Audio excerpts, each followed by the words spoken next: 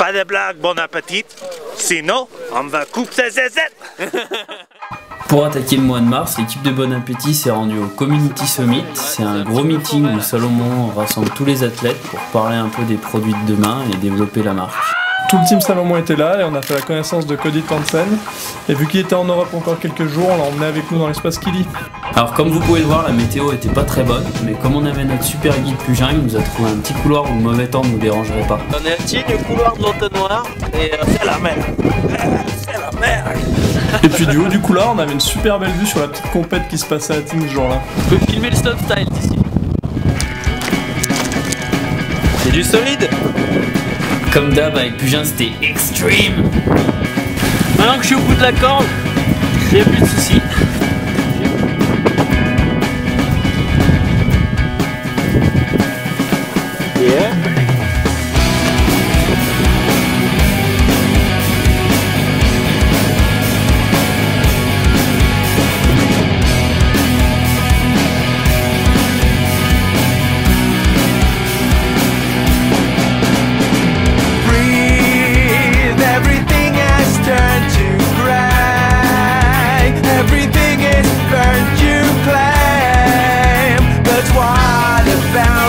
To be here in Tignes.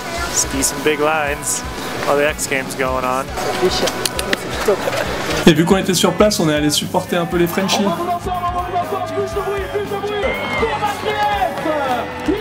Bon bah voilà, c'était un beau spectacle. Nous le lendemain, on avait un pote qui nous rejoignait, Mathias Giraud, et on allait skier un peu de forêt avec lui. Bon bah c'était cool, on était une bonne ribambelle de cons et on a passé une bonne journée.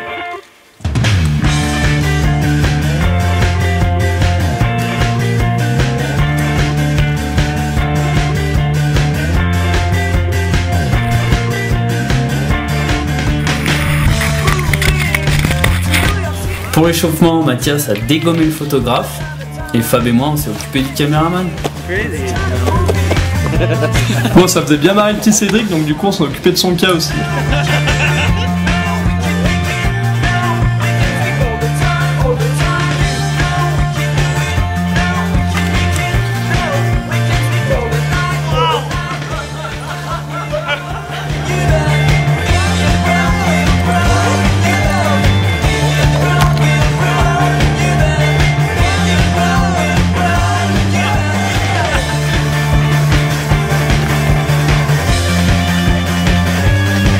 Eh ben, c'était une bonne journée, on s'est bien marré à courir après Cédric Pugin la comète.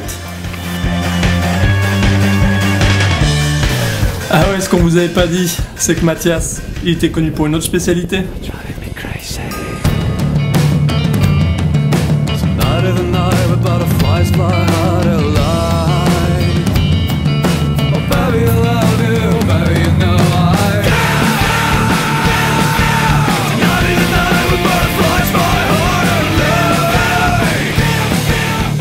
Mise en jambe, on a refait l'aiguille croche. Après avoir fait 2-3 recherches, on s'est mis en contact avec euh, Rock Malnuit qui nous a montré le spot euh, à Argentière.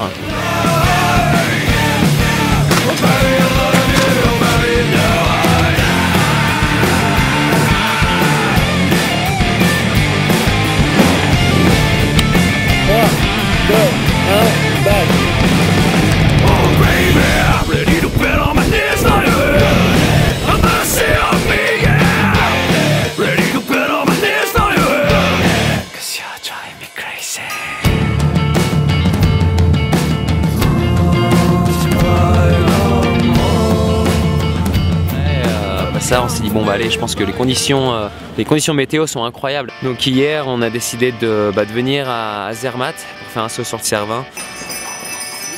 Après avoir fait la guerre, je me suis mis en contact avec mes amis euh, en Suisse. Avec Simon, on a commencé à vraiment planifier le ski base sur le Matterhorn.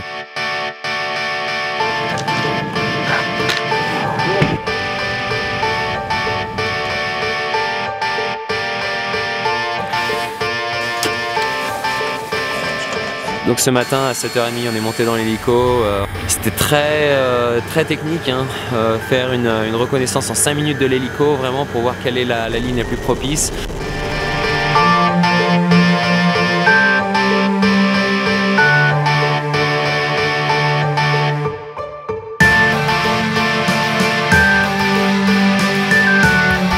vois vraiment euh, une sorte de, plongeoir un peu à gauche du sommet du triangle.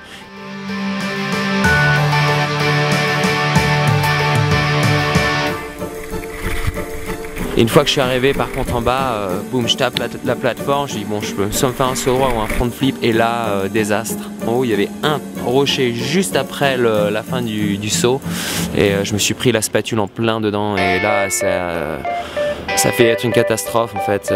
C'est mon, deuxième, 225e saut en base jump, ou 226e, et j'ai jamais eu un, saut qui, soit parti vraiment en pétard comme ça, quoi. Bon bah Mathias il a quand même brûlé un bon joker sur ce coup-là. Euh, Ça nous a rappelé qu'il faut quand même pas faire n'importe quoi en montagne et que euh, même avec l'expérience il peut arriver des conneries.